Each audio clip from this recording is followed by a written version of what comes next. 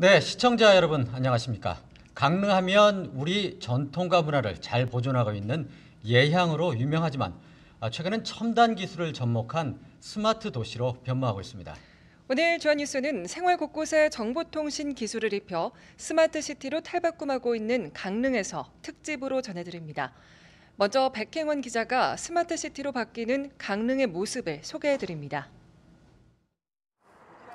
강릉시의 하루 평균 교통량은 7만 7천 대 수준이지만 피서객이 몰리는 여름철엔 8만 6천 대까지 늘어납니다. 여름마다 반복되는 교통난 주차난은 관광도시 강릉의 숙명이면서 고질병입니다. 이런 문제점을 해결하기 위해 ITX 지능형 교통체계 구축이 본격화됩니다. 핵심은 도시정보통합센터입니다. 실시간 교통 상황을 포함한 온갖 교통 관련 데이터가 한데 모입니다. 시민들은 돌발 상황에 대한 정보뿐 아니라 날씨와 시간대별로 안전하고 편한 길을 안내받을 수 있습니다. 교통량을 예측해 교차로 신호도 스스로 제어합니다.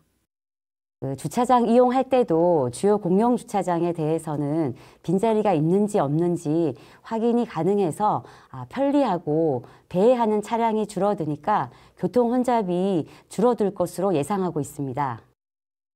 스마트 시티는 이런 교통 분야는 물론이고 관광과 문화, 복지까지 첨단 기술을 시민의 일상 전체에 녹여내는 방식입니다.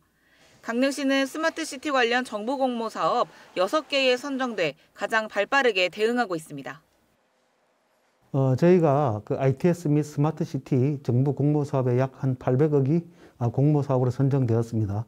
이런 사업이 내년, 내년부터 본격적으로 시행되면 시민들께서나 강릉을 찾는 관광객들께서 편리하고 쾌적한 도시를 체험하게 될 것입니다.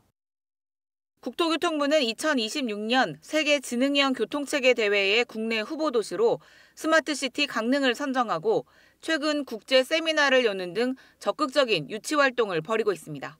G1 뉴스 백행원입니다.